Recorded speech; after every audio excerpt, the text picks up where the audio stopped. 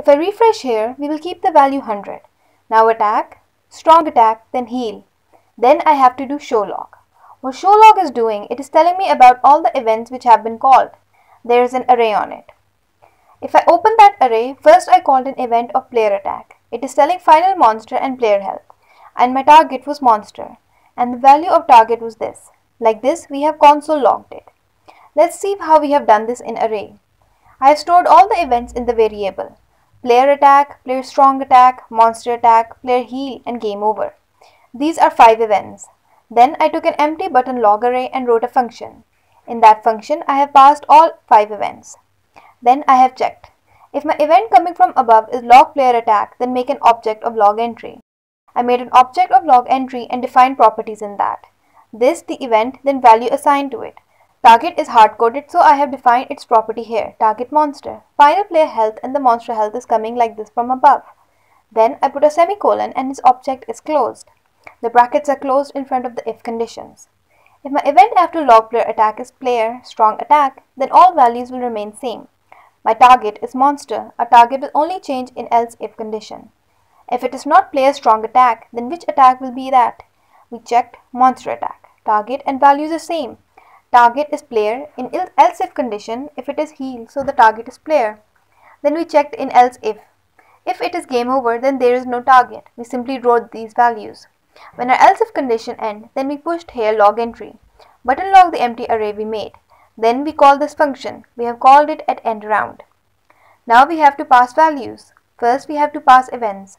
Event is monster attack, player damage value, current monster health and current player health.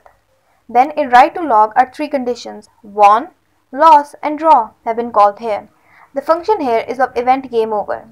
Here our game is getting over. We don't have any target, only the value is here.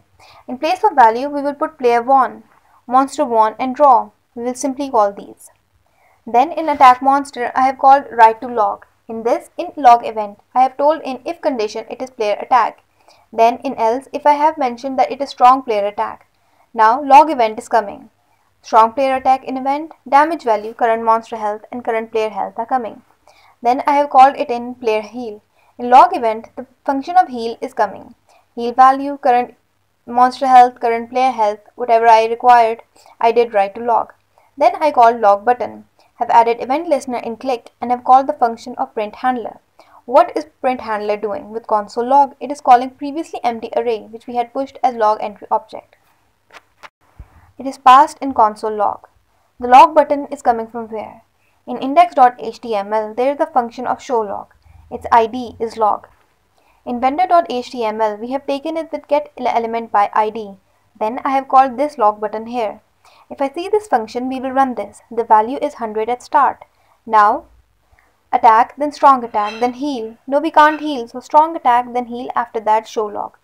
These were all functions performed while playing the game.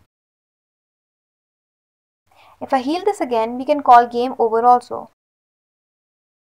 You won, then again called show log. In game events, game over is also coming. Game over is called because final monster health went in minus. It was 51.2. So its value is player won because monster health was less than player health.